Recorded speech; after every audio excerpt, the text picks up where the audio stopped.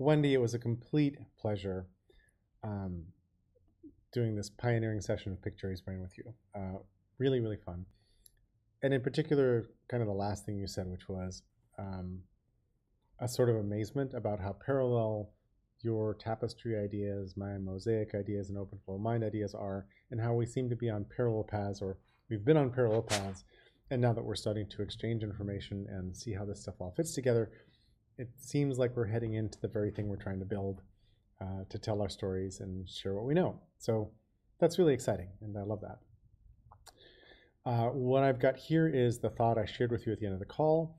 I'm going to uh, also paste uh, the video recording here on YouTube. I'll add it to this thought so you'll see a little YouTube icon sort of like these up here. But then up here in just an alphabetic order, because that's the, the sort order I've chosen for the brain, but are a lot of the things that we talked about, uh, including, hey, we are all drowning in the info torrent. So why create a better shared memory? Why uh, build a tapestry? Well, um, we don't have information curated into places that get better. We're busy like making our way through increasing feeds. Uh, you know, every year it seems somebody adds something new. This year, last year it was TikTok. The year before it was Snapchat. Um, and who knows what it's going to be next year. But uh, Campfire was somewhere in between, although Campfire doesn't really record much, so there's no byproducts of Campfire. And I'm not sure that not recording things is actually the better answer. Anyway, we're busy drowning information while striving for wisdom, is a, is a quote I didn't connect to our call. but um, that would be why we might want to create uh, our different sorts of projects. So here's your tapestry project. Uh, and I, I, added a thought above that called helping communities see themselves, and I connected my open global mind multiplane camera mosaic idea, uh, which you've seen, but I think I, I hadn't actually um, we hadn't actually gone through any of the drawings together, so I figured I would just give you a refresh of what those were. Uh, the idea was that there were different layers. This layer is the entity layer, and then uh, there would be a participants layer that would kind of be above that. And these participants are in fact meant to fit above the, pro the projects that they're in. So Tom is Tom Atlee, who is part of the Wise Democracy Pattern Language, for example, uh, and so forth. And then there would be um, uh, infrastructure layer, which is more conceptual about how information comes in. This is the info flood.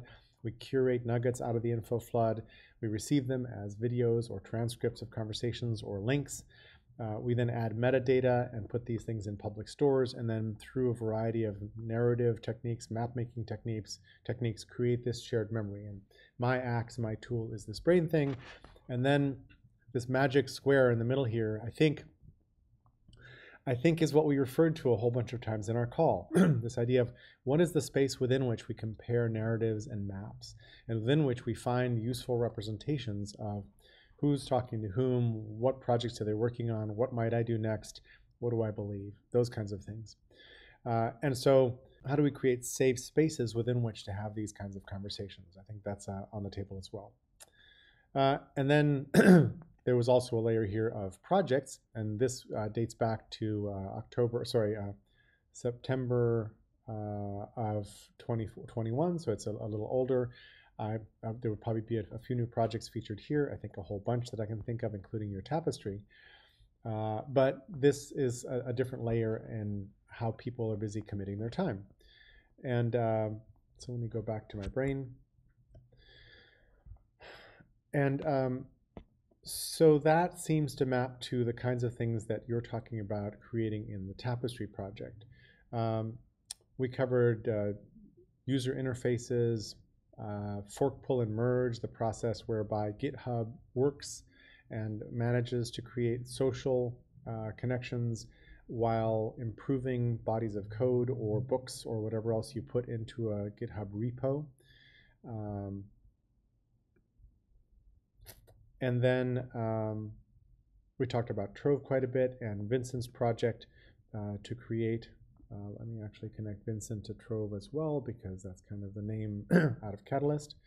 And here's Vincent in my brain along with uh, a lot of the kinds of things that he's been working on. Um, and then a bunch of a bunch of the conversation was uh, about how do we see ourselves and what might this artifact be like and how do we prototype our way into it and how do we keep it from becoming only one thing and allowing it to, to preserve different individuals' points of view, um, but still making it a not too confusing shared memory object. And I know that this brain thing can be confusing to people who are not accustomed to it. Uh, also, it's not just a matter of familiarity, but different people have very different visual sort of representational styles. Uh, some people like calendars, some people like to-do lists or checklists, other people like maps and mind maps, and they're really, really happy when they see mind maps. But not all mind mappers like all mind maps, that's for sure. So it's complicated how to display um, these sorts of things. And I, I, one of the suggestions I made was to do, um, to basically take um, the ViewMaster approach uh, that, that toy where you click and you see different scenes come through in stereoscopic vision. It's a stereoscope. Um, and to think of these different ways of handling information as some combination of what's appropriate for the thing I'm trying to do right now and what is my preferred uh, method for representing information or understanding information. And I think that's a, a useful framing for how we build a, uh, a tapestry kind of app that's good for, uh, for all of us.